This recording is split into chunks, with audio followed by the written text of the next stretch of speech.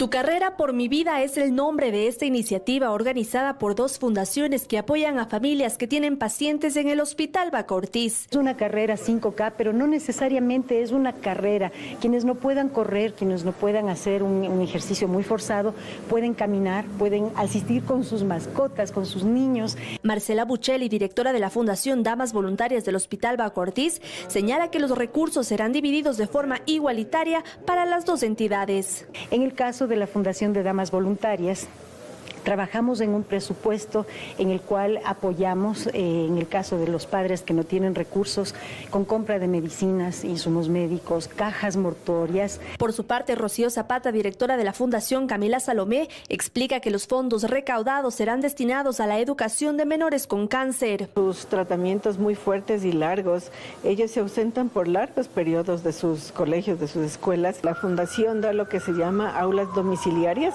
en donde eh, la enseñanza es personalizada. La carrera será el sábado 16 de septiembre en el Parque Bicentenario a las 8 de la mañana. Esta inscripción, bueno, es un aporte de 20 dólares eh, con el cual eh, nosotros vamos a, a, cubrir todos los, los gastos del o incluir la camiseta, entrega de mochila, un toma todo. Para inscribirse puede comunicarse al 099 99 023 57 o al 099 99 02 361. Es, es, importante porque es muy rico, muy lindo en la vida eh, servir y dar.